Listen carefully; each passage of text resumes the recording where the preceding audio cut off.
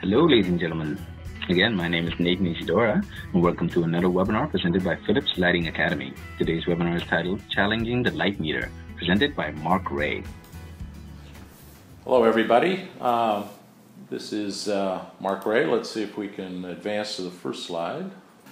So before I begin, uh, I want to thank uh, Nathan and all of Philips for the invitation. Um, today I want to hopefully uh, expand your thinking a little bit about how another way that we might consider the uh, lighting design process, both uh, for outdoor and indoor. Um, and again, I think that, uh, as Nathan said at the beginning, uh, a discussion at the end uh, is just a beginning. So if there are ways we can continue the dialogue after this, I'd be grateful. Um, second thing I want to do is acknowledge my colleague John Bullough um, here. he and I have worked um, on this uh, brightness problem for, um, uh, well, half a decade anyway. Um, but we've uh, been interested in this for some time. And again, I think what uh, we're coming to the point now where uh, brightness uh, might indeed be a um, design criterion that we can actually begin to engineer. therefore, the title of the talk is Engineering Brightness. So let's, let's get started. So I think that um, nearly everybody in lighting is going to appreciate that uh, we think of luminance as opposed to illuminance as corresponding to um, brightness perception. Um, and uh, generally speaking, that's true, that the more luminance uh, reflected off a surface, uh, the brighter it's going to appear. Formally, though, we are going to weight the spectrum uh, of that optical radiation reaching the eye in terms of the photopic luminous efficiency function, which is, or V lambda, which is uh, shown here in the upper right hand curve. And again, um, 50 years ago, we even referred to it as photometric brightness because we thought that uh, that was a good way to weight the spectrum to characterize how the visual system uh, appreciated uh, changes in brightness. Now, what we'll go through today are many examples that two surfaces of equal luminance, photopic luminance, or rooms lighted the same photopic luminance, don't uh, or only rarely would appear equally bright. Uh, and that's uh, largely because of the assumption that the photopic luminous efficiency function represents how we see quote unquote brightness. Um, now, one of the things that we've uh, come to appreciate is there are really two domains that we have to consider. One that deals with things like signal lights, which we call aperture mode. Um, if you're a pilot landing an airplane, for example, you're in an otherwise black surround, and a lot of the vision research that underlies brightness perception was done that way. And you'll see, for example, in this um, illustration, uh, a red patch and a green patch, and people are asked to uh, rate the relative brightness. The second one, which probably is more applicable to architectural lighting applications, are scenes. And so here we have a scene with a warm color temperature and a cool color temperature. And again, those will not necessarily be seen as equally bright at the same photopic uh, light levels. So let's talk first about aperture mode. So again, just to reinforce the last point, these are isolated luminous elements, so you should think of them as uh, points of light in an otherwise dark field. Again, um, traffic signals or uh, landing lights. Uh, and they're affected, as uh, we'll show in a minute, the luminance or the achromatic content. Uh, and then it's also affected by the hue, that is red, green, or blue, and the saturation. And then the bottom here we see uh, different levels of saturation with the same hue being red from highly saturated to low saturated. Generally speaking, these are going to be seen as different in brightness at the same luminance. Now, the mechanisms for brightness, one of the things that people um, have demonstrated going back uh, many years is rods play almost no role uh, in brightness until you become uh, sort of a purely scotopic or very, very dim light conditions. Um, and evidence for that indirect is that the bluish violet and red lights, these saturated lights, uh, will appear brighter than, say, a white light at the same luminance. Now, if it was rods only, then the red lights would not appear brighter um, uh, necessarily because the rods are not very sensitive to long wavelengths. So it is the hue uh, and saturation as well as the achromatic content that really drives our perceptions of uh, brightness. And rods uh, are not really a, an important role whatsoever in this, in this uh, discussion. So just to kind of give you a quick cross section, uh, this is only to indicate that there are three cone types, um, uh, the middle, the short, and the long wavelength cones. And these are going to be the dominant photoreceptors that uh, people have believed for many, many years uh, drive brightness perception. So light comes through the pupil, is absorbed by these photon, these photoreceptors, and then the neural signals go back and exit the eye along the optic nerve. But we don't really have direct um, access to these uh, photoreceptors. Um, but nevertheless, um, when we consider the three cone types, it's really just two, the long and the middle wavelength cones, that uh, constitute V lambda. But if you look at the spectral sensitivity of the short wavelength cones, it should become obvious uh, that the V lambda correction, that is for luminance, is going to discount any short wavelength radiation. And that's really the key point I want to get across is that V lambda, as defined, uh, does not take into account the short wavelength cone, which does contribute to brightness perception. Now, it isn't the photoreceptors, as I said before, that are directly relevant, but just to remind everybody that these photoreceptors are going to be processed by bipolars and ganglion cells before they exit the brain. And there are two basic channels that we have that contribute beyond the achromatic content, that is the luminance, the red green over here, and the uh, blue yellow pathways. And those both combine in various ways to uh, determine how bright something is going to be. And generally speaking, a bluish um, uh, white light, if you will, or a blue light is going to appear brighter for the same um, uh, photopic luminance as something that is desaturated like yellow. Um, the red-green also participates in it, as I said before, and we take that as indirect evidence that rods don't play a significant role in the perception of brightness. Now, back um, in the 70s and early 80s, there were a number of people uh, working on modeling how brightness perception is um, formed. And you start, as I said before, with the long, middle, and short wavelength cones. They are, this is the wiring diagram that comes into V lambda, which is just the L and M cone, which you saw before. The Y minus B, which is L plus M, which is yellow, minus the blue in this case. And then L minus M plus S. Those get combined to produce these channel responses. Here's our friend V lambda. This is the Y minus B channel and the R minus G channel. And these form the spatial receptive fields that are going to constitute uh, color as well as acuity. So in fact, in the fovea, these are the types of uh, receptive fields that you have, very small centers and surrounds, and they are also contributing to the achromatic.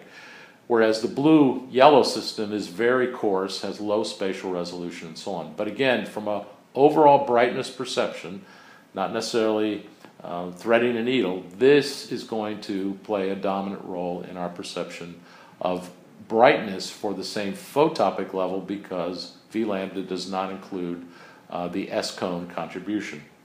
So really the key insight is short wavelengths are going to enhance brightness for the same photopic illuminance and there is a physiological basis uh, for that phenomenon. Now since the uh, 70s, a number of people have tried to address the question of how bright do different lights appear. So here's the 1931 CIE diagram. Uh, here's the spectrum locus from uh, 450 nanometers coming around to 700 nanometers. Uh, the black point in the center is an equal energy spectrum. And each of these contour lines represent what's called equal brightness to luminance ratios. So for example, on this one right here, compared to an equal energy spectrum, this anything on that particular contour is going to appear 7% brighter uh, than an equal energy spectrum. And down here, the numbers can get as high as 18 to 20. So a deeply saturated blue spectrum, spectral blue, is going to be 20 times brighter, appear 20 times brighter than the luminance would otherwise uh, indicate. And there have been, as you see here, a number of people have been working on this uh, phenomenon for uh, nearly 50 years. Now, to give you a specific example, if we take a reference white and we want to compare the brightness of a particular green we will be able to calculate, once we make a match in equal brightness, how much luminance is produced here and how much luminance is produced there. So in this example, we have 10 candelas per meter square of the white, but it only takes, in this case, 4.65 candelas per meter squared to make the green and the white look equally bright. So the brightness luminance ratio for this particular patch of light is 2.15. Now we can plot that in the diagram uh, that we showed before. And so here's our green, and you'll see it's on this contour right here of 2.15. So anything along there is equally bright uh, for this reference luminance of an equal energy spectrum. For the red light, we have a brightness luminance ratio of 2.93. So this particular red is seen nominally three times, uh, or only takes one third the luminance roughly to equal the brightness.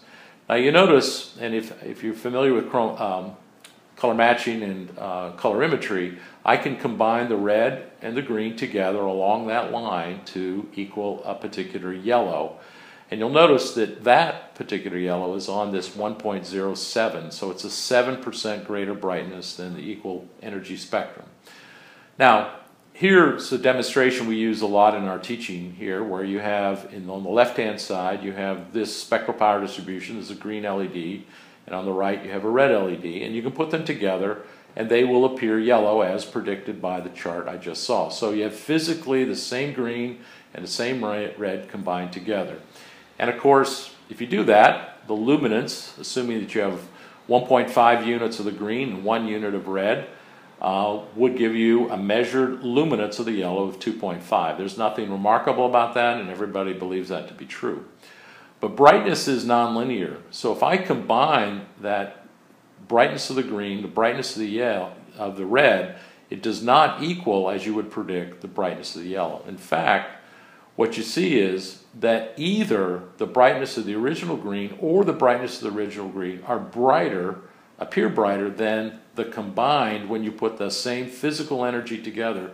The yellow will look less bright than either of its components alone. And that is predicted from uh, this diagram. So if I have uh, a brightness luminance ratio of 2.15 and I have 1.5 luminance, then I have 3.22 units of green. I do the same with the red. I get the, the one unit of, of luminance for the red. The brightness luminance ratio is 2.93. So those are the two values that are over here. But when I combine it, I have 1.07 times 2.5 luminance. You'll notice that the combined is actually appears less bright than either one alone. So even though it has twice the luminance, uh, it still looks less bright. And again, that's not a, just a trick of calculation. We show that demonstration over and over again. So brightness is distinctly nonlinear. It's subadditive, and one has to take into account the chromaticity as well as the achromatic content if one is going to predict brightness. So that's always a fun demonstration, and I encourage you if you if you're handy to put that together. It's a pretty impressive uh, demonstration showing how the visual system uh, responds differently to brightness than it does to luminance. Now, among the people that have done this, uh, there's broad agreement, but not complete agreement. As you'll see here, the predictions for a variety of blue and white uh, and green sources uh, you'll get slightly different calculations depending on what you use. Now remember I said it was nonlinear and it depends a lot upon the light level you're adapted to, what's the surround, what was your previous uh, exposure, and the color contrast. All of those contribute to a very complicated uh, prediction system uh, that is not easily characterized by a linear model. But we have used this here at the Lighting Research Center to advise the Federal Aviation Administration uh, to develop um, guidelines because some of the pilots are claiming that new LEDs are seen as too bright. Now what you have here is aviation green, white, and blue, and we developed these contours that tell if the chromaticity of, say, an incandescent filtered blue-green light uh, is here, what would an LED be over here? And you'll get about a 50% brightness enhancement, which some pilots object to. So the Federal Aviation Administration is now using this aperture mode data that we developed to begin to um, change the specifications uh, for runway uh, signal lights for aviation. Now, let's shift gears here and move from aperture mode or signal lights to um, illuminant mode. This would again be more in line with what we do for architectural lighting. So if you take that brightness luminance ratios that we saw before, the prediction would be that high pressure sodium, because it has a hue to it, is going to be seen as 9% brighter than metal halide. As you can see here are the same data um, shown for a variety of light sources. But we began in the early 90s to make a test of that. And what we found was, and I think you all can appreciate that if you, if you walk outside, for the equal illuminance in a parking lot, high pressure sodium sources are always seen as less bright than a white or metal halide or white LED source. So you have opposite predictions from aperture mode, that is signal lights, to what you would get for an illuminated uh, scene, uh, in this case an outdoor scene. And it's quite a big difference between high pressure sodium in this case and metal halide. And we've done a number of demonstrations. Here's one in Austin, Texas. Uh, we had four parking lots, so you have high pressure sodium at 19 lux, you have a fluorescent source illuminating this parking lot at 11 lux, you have a, another high pressure sodium lighted to a much lower level, and then you have uh, three lux of the fluorescent. So you have basically a two by two array, two high pressure sodium, two fluorescent, one at high level, two at high levels, and two at low. And if you now ask people how bright does it appear, what you see is that indeed, when you have a higher light level, people uh, say they rate it brighter than they would under a lower light level. Um, but you'll notice that even though there's nearly twice the amount of illuminance from the high pressure sodium, you don't get twice as brightness perception. In fact, here at low light levels, you find that people find this to be um, less than adequate with regard to illumination, whereas the fluorescent, even though it's less illuminance, is seen as more adequate. Now, we'll talk a little bit more about this, but if you ask people how safe and secure they feel, in fact, at a nominally half the illuminance, you're getting a much uh, greater sense of how safe it is to walk in that environment than it would be under high pressure sodium for both low and high. And again, low light levels are always perceived as being uh, less safe. Um, and that seems, as we'll talk later on, well correlated with people's brightness perception. In fact, what we did was we went to uh, study this in a more controlled environment. So now here what we have are two spectral power distributions, metal halide high pressure sodium with the hypothesis, again thinking about V lambdas not including uh, the S cone, that higher short wavelength energy uh, should produce greater brightness. And here's a, a, plot. Let me explain this a little bit. This is the metal halide illuminance relative to high pressure sodium in percent. So when it's at 100, that means that the photopic illuminance of the metal halide is equal to high pressure sodium. And when it's 200, for example, then you have twice the illuminance for metal halide uh, that you did for high pressure sodium. And at 50, you have half the illuminance uh, that you had for high pressure sodium. So 100 is equal photopic illuminance. And on this is the percentage of time that people rated um, the metal halide as brighter. So if it was um, equal in terms of perception at 100, equal illuminance, you would find half the time they say metal halide is brighter and half the time um, high pressure sodium was brighter. That is a chance. But in fact, what you see is about a 20, in this case, 21% reduction on average from three experiments, saying that you can reduce the illuminance of metal halide by 21% relative to high pressure sodium, and people will perceive that as equally bright. So this is a empirical result, um, one that led us then to begin to think about modeling this. How do we predict this instead of just one experiment at a time? How do we generalize this? Well, we've selected here just two examples from the literature. Uh, Wheel back in 1953 uh, did an experiment. Uh, what you do is you fixate over here.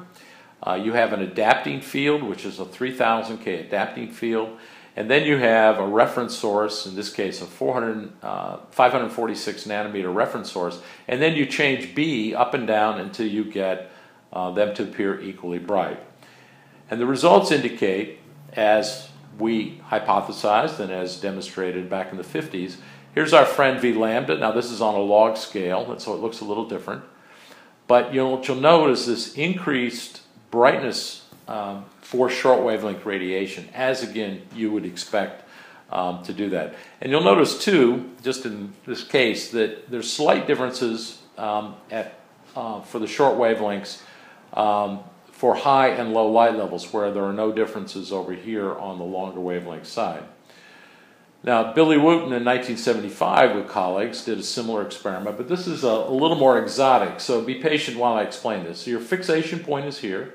You have a 3000K adapting field. And then what you're going to do is you're going to have what's called an increment threshold. So what you're going to do is you're going to measure how many watts, radiant watts it takes, to just detect this little one degree spot on this background. Now that's well and good because this is a very, very bright, you'll see 17,000 candela per meter squared, really super bright. And it takes uh, an increment higher of this particular, of these wavelengths to, to see that. Now what we know from basic physiology is if you now extinguish this light and you measure dark adaptation, your eye is still gradually readapting to a new light level, but yet you present, present this increment threshold on that. And that way, we can see how sensitive the eye is to all of these wavelengths at different um, times of dark adaptation, but also different um, uh, equivalent adaptation levels, as if we drop from 17 down to 10, down to 5, down to 2, and so on. So this is an increment threshold on a steady light at 17,000, we're going to measure um, how much the relative sensitivity wavelength by wavelength, but then we're going to extinguish the light to simulate different adaptation levels. That's the experiment. And what you see is, again, here's V lambda, this red curve on a log axis. And again, for the long wavelength side, you get very similar results and well characterized by V lambda. But what you'll notice is at time zero, this is when you're looking at a steady light, great enhancement of short wavelength, but 30 seconds later and 180 seconds later, that is equivalent lower adaptation levels, the relative contribution of the short wavelength uh, becomes less and less. So not only do you have um, an enhanced sensitivity in short wavelengths, but you also have a change in that enhancement depending upon what light level it is. So at high light levels, S cones play a much more dominant role than they do at low light levels. Now, if you plot this uh, function called G, which is going to weight my S cone sensitivity, and you plot that as a function of equivalent adaptation level, you get a nice straight line. And if you use that V lambda plus this value of G, S-cone, you, these are the Wooten data that we just showed you, now fitted with this very simple model. Now, to check that, we were looking in this particular experiment at outdoor lighting levels, so we chose this range of light levels representing what you might get in an outdoor parking lot. And from that, we're able to generate new luminous efficiency functions, if you will, uh, for if each light level. Now, when I say luminous efficiency, that implies an additive linear system, which of course this is not. But the point being that you see this enhanced short wavelength, this is V lambda, and it gets larger the higher the light level, the relative contribution of the short wavelength increases. So this then became our model to try to predict um, uh, brightness perception in a parking lot application. And what we see is that simple model, if you now take all of these sources and you look at the rated relative brightness, what you get is this nice linear relationship for all kinds of light sources. So the model seems to be pretty good at both uh, high and low light levels. However, you see a slight discrepancy here, in best fitting curve, but still well characterized um, by this simple model uh, for practical light sources that we're going to be exposed to in architectural lighting outdoors. Now, in 2011, um, Fotios and Cheal presented, uh, took our data and showed that in fact that it wasn't a very good fit at this light level. It's not bad over here uh, because what they did is they weighted this by scotopic photopic ratio. Now, I've made the point several times that rods can't play a role in brightness perception, but empirically what you find is that taking into account the rod contribution, the data were better fit than they were by our model where we had S-cones and so on. Now we knew that this physiologically uh, wasn't correct, but what was it became the question that became the reason why those data, which were perfectly valid, were not well predicted by our model. Now, here we show before, we have our S cone, L cone, M cone, and this is sort of your conventional thinking. You have three cones that contribute to it, and I showed you the model uh, where all three cones go through bipolars. You have a Y minus B and a R minus G channel, and this has been the conventional wisdom. But recently, there's been a new photoreceptor, the intrinsically photosensitive retinal ganglion cell, that has a sensitivity that looks very close to actually where rod's spectral sensitivity are. But it's a very, very different um, uh, neurophysiology. This is in the ganglion cell layer instead of the receptor level. Uh, and we've known that this contributes to um, circadian rhythms uh, for some time now. Now, here's a very, I think, a very interesting and important uh, graph from uh, Samer Hattar's group. Um, and what they're showing is that there are not just these intrinsically photosensitive retinal ganglion cells that contribute to circadian rhythms, which is shown here, the suprachiasmatic nuclear, the side of the biological clock. But there's another group that contributes to um, the olivary pretectal nucleus, which controls pupil size and then there are ones that contribute to the visual system as well. And he's found a new type that he isn't quite sure where it goes, but that is work that indicates so there isn't just one intrinsically photosensitive retinal ganglion cell that drives circadian rhythms in combination with rods and cones, but there's ones that contribute to the visual system as well. So we have to begin to think about how do we begin to remodel our conventional wisdom about how this uh, red-green system, uh, red-green-blue system contributes to brightness perception. We need to begin to think about, does this intrinsically photosensitive retinal ganglion cell also participate? And what I'm going to show you is it probably does.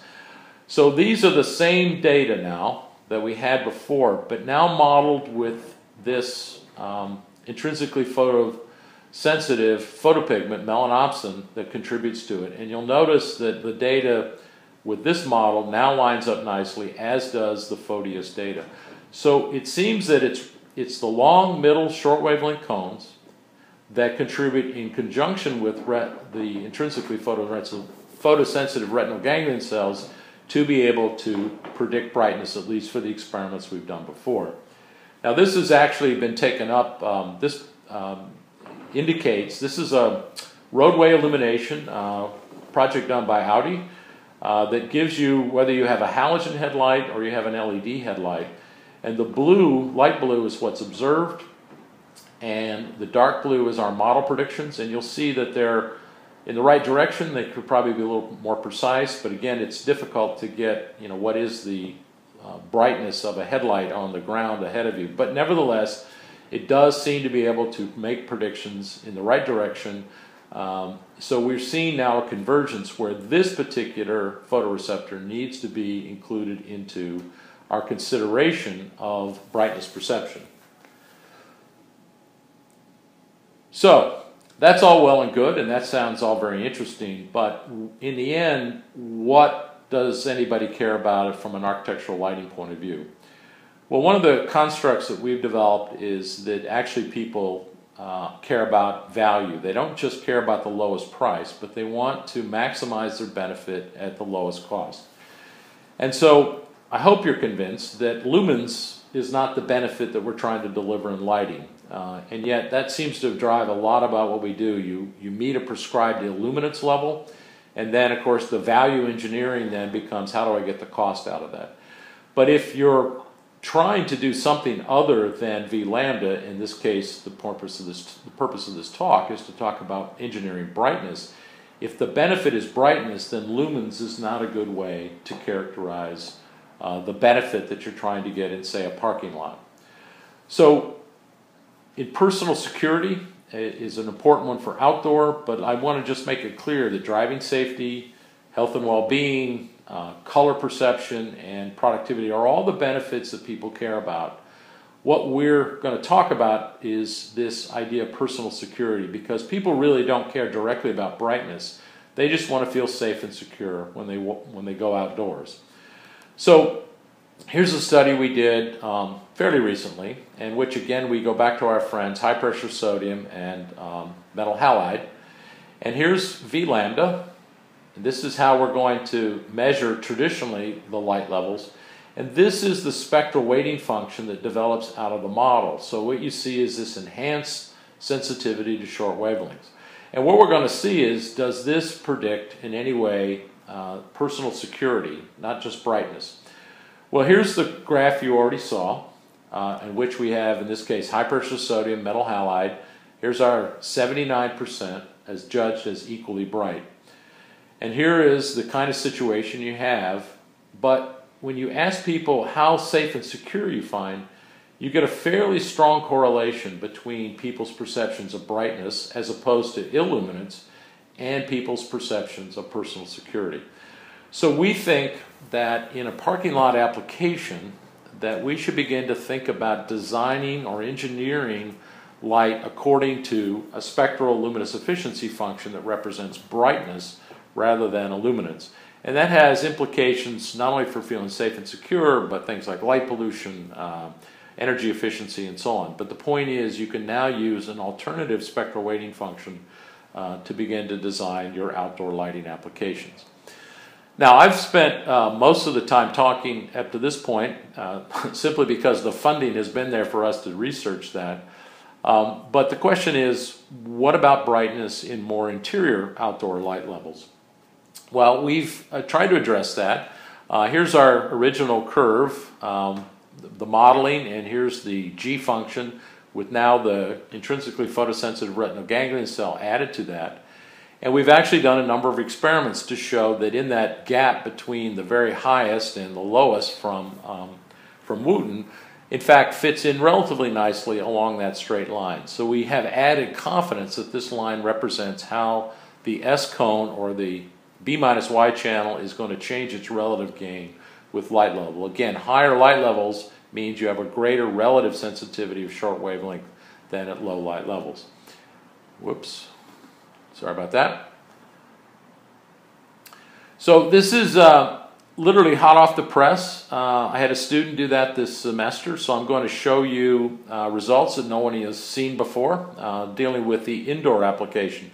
So this is in our laboratory. Uh, subjects come, they look, have it, they put their chin in a chin rest here, and then you have a scale model of a, in this case, a living room um, illuminated uniformly. Up here is a, is a nice diffuser, so the uniformity within this space is, I think, uh, within um, 10%, so from corner to corner, so it's a nice uniform distribution, well controlled. Uh, and subjects come and they make ratings of brightness in this particular setup. So here's um, the experimental design. Uh, you have a warm source 2700K, you have a cool source, you have a low light level, and you have a high light level. Now I want to point out that the reflectance of the walls is 70% in this particular case. All right.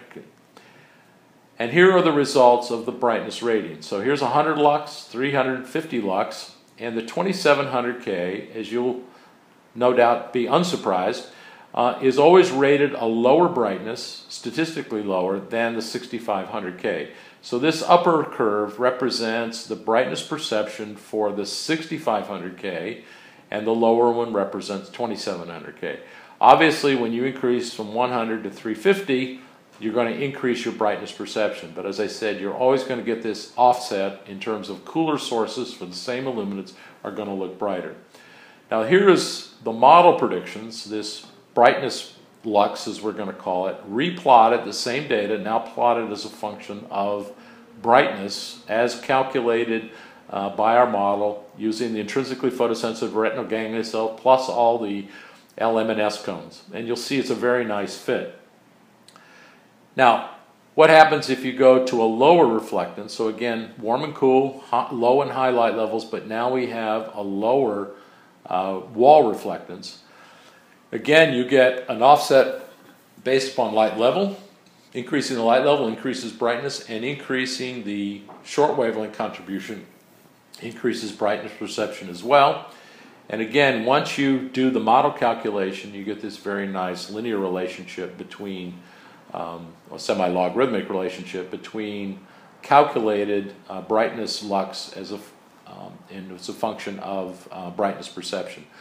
So we believe then that this model not only applies well to outdoor applications, uh, but these are the first experiments uh, that we've done showing that this model also seems applicable to designing for brightness uh, in interior spaces as well. Now, this is the summary, and I, I should be able to finish a little early so that we can uh, discuss the, um, the, presentation as you wish. Um, so I want to, first of all, talk about aperture mode, and I think it's important that you remember that aperture mode or signal lights has a very different physiology uh, than illuminant mode. But brightness of a relatively small patch is not predicted by its luminance. You need to know the hue and the saturation um, if you're going to predict brightness. Um, models show qualitatively similar trends. All the models that have been done for the last 30, 40 years show that. Uh, but because it's a nonlinear system, the differences are related to you know what your starting conditions, uh, what other uh, lights are in the field, and that sort of thing.